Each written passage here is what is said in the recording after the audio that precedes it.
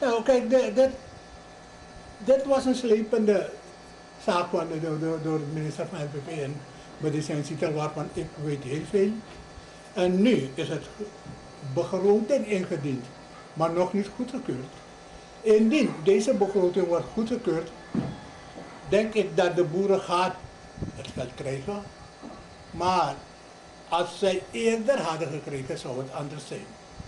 Maar toch, ik ben helemaal niet tegen. Ik ben blij dat de minister heeft een toezegging gedaan dat de boeren gaat het geld krijgen. U bent ook blij wanneer u hoort dat het geen 130 per hectare is, maar dat het per uh, afgeoogste zakpadie wordt uh, uh, incentives worden verstrekt? Nou, laat me eerlijk zijn, meneer ik heb het met meneer Sitaal hierover gesproken. Met mij, met mij heeft meneer Sitaal gesproken. Wij hebben een gesprek gehad waarvan meneer Sitaal zelf heeft gezegd 130 SRD per hectare. Is dat ergens vastgelegd? Ja? Is dat ergens vastgelegd dat hij dat heeft beloofd? Uh, dat is het grote probleem, want meneer Sitaal heeft nergens op papier gezet.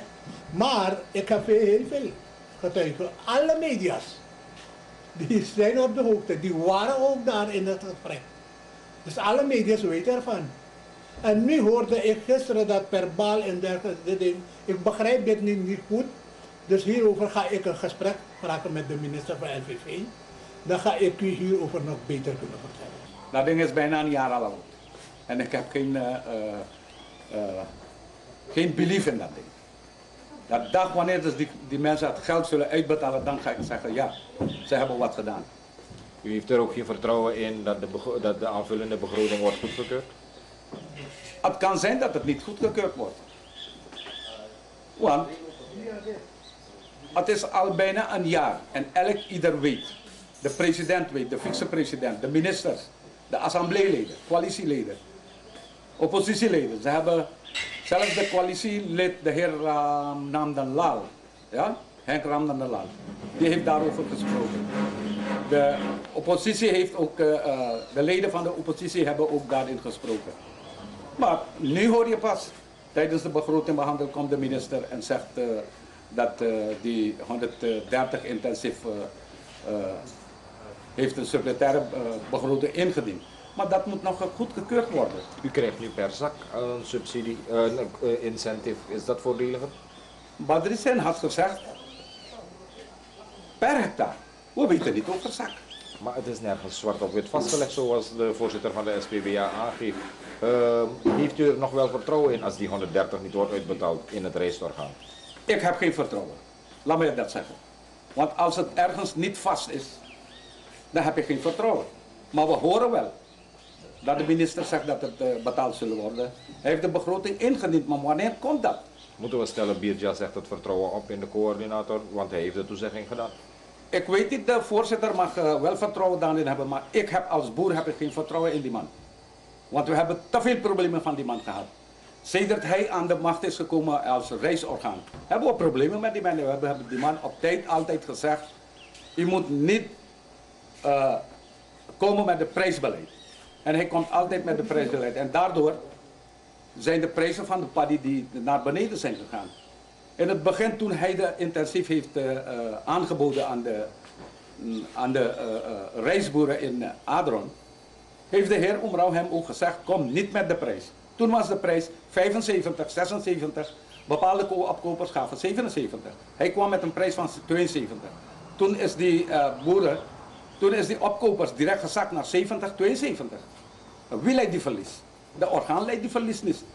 De verlies is geleden door de boeren, niet door het reisorgaan. De tweede keer heeft de heer Omra hem ook gezegd dat je niet moet komen met prijs. Toch is hij ook uh, gekomen met de prijs. Dat wil zeggen, wij hebben die man niet nodig. Dat gaat eigenlijk dus niet helpen, omdat een uh, aantal maanden terug is de coördinator in opdracht van de president geweest in Nikeri, heeft samen met ons vergaderd en had toen de incentieven beloofd, omdat de boeren schade hebben geleden, omdat de government take dus zwaar uh, ligt bij de boeren. En vandaar had men dus per hectare, want 160 liter brandstof gebruikt men per hectare. En aan, aan daarvan had men berekening gemaakt, dus 130 uh, SRD per hectare. En wanneer men gaat die incentieven terug, keren verbaal, dan hoe moet men een berekening maken? Men gaat dus vastzitten. Als we ervan uitgaan, die man heeft toen dat hij toegezegd van de 30 SRD, nu blijkt dat het ministerie van LVV anders beslist, moeten we zelfs stellen dat meneer uh, Badrissijn Sital de boeren heeft misleid.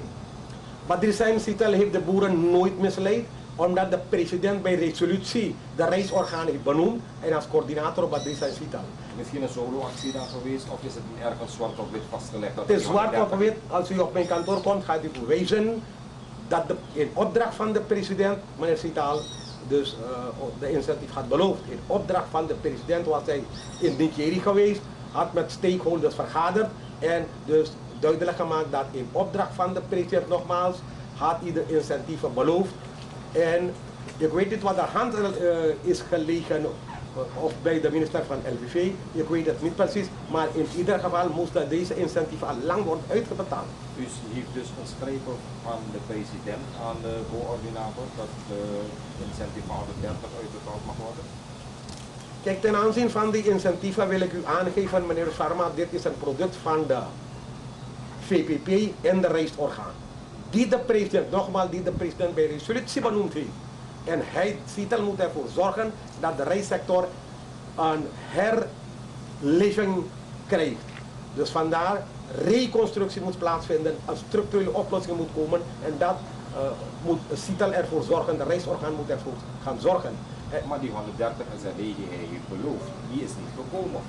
Die is niet gekomen omdat men ging vechten onderling in de top van de politieke partijen. En dat is het probleem dus daarom. Juist wil ik aangeven dat ik een aantal schrijven van de reisorgaan van het kabinet van de president heb, waaruit blijkt dat deze incentieven door de president is aangekaart. Dat is zijn titel is slechts de coördinator ervan. Gaan we de minister dan nu eventjes buiten spel zetten en de president aanvechten, zeggen u had 130 die beloofd? Ik heb dus altijd aangekaart op media, ik heb brief geschreven naar de president, dat het niet zo is dat u, meneer de president, heeft dus via CITEL ons laten bekendmaken dat die 130 SRD komt. En uh, volgens bekomen inlichtingen heeft de minister tijdens beantwoording van die begrotingsvragen heeft dus aangegeven, op aandringen van de voorzitter van de Nationale Assemblée, heeft dus aangegeven dat die 130 SRD toch komt. Wanneer die begroting dus goedgekeurd is, er is een aanvullende begroting ingediend, wanneer het goedgekeurd is, komt het wel in orde. Het gaat dus niet per zak zijn, maar per hectare? Het moet per hectare zijn, anders gaat men in uh, zitten.